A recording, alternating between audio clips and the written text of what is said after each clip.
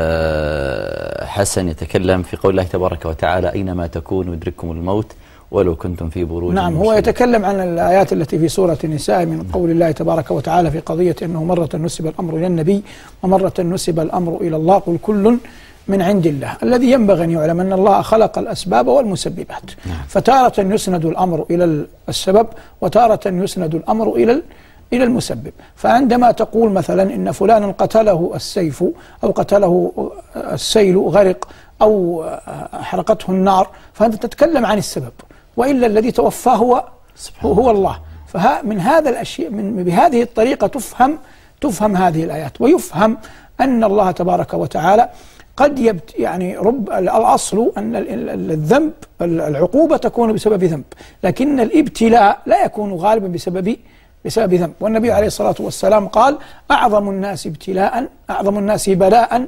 الأنبياء. ومعلوم أن الأنبياء ليسوا أعظم الناس ذنوبا بل لا ذنوب لهم.